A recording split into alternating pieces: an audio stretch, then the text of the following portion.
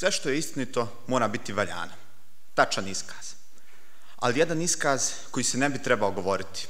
Jer čovek ne zna šta je istina. Ne samo da ne zna, već ne može da sazna. Jer je čovek suštinski subjektivno biće. Ne može čovek koji će rečenicu početi sa opisom nečega što je crno i da završi tu rečenicu i da kaže da je ta ista stvar bela, da sazna jednu istinu. Ne može čovek čije se mišljenje ne menja samo tokom godina, već tokom, tokom rečenice da sazna nepromenjivu istinu.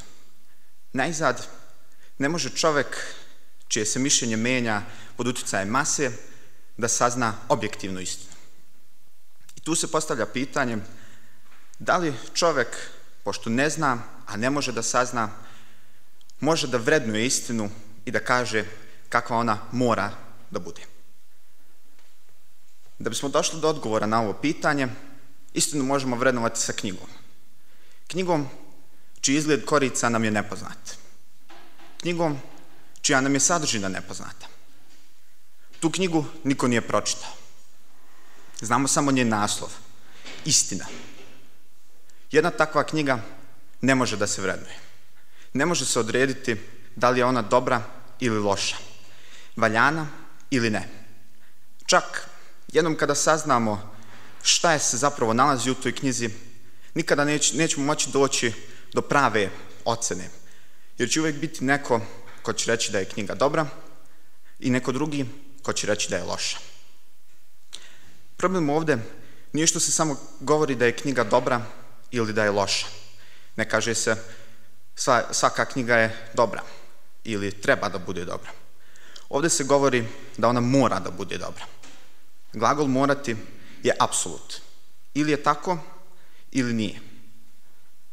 I to se prosto ne može govoriti.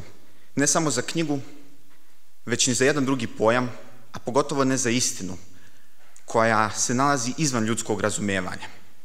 I reći da istina mora da bude dobra, da mora da se ukalupi u ljudski moral, u ljudsko dobro, loše, valjano ili ne, je absurdno.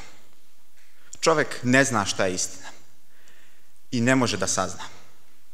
Samo treba da pusti istini da bude ono što jeste.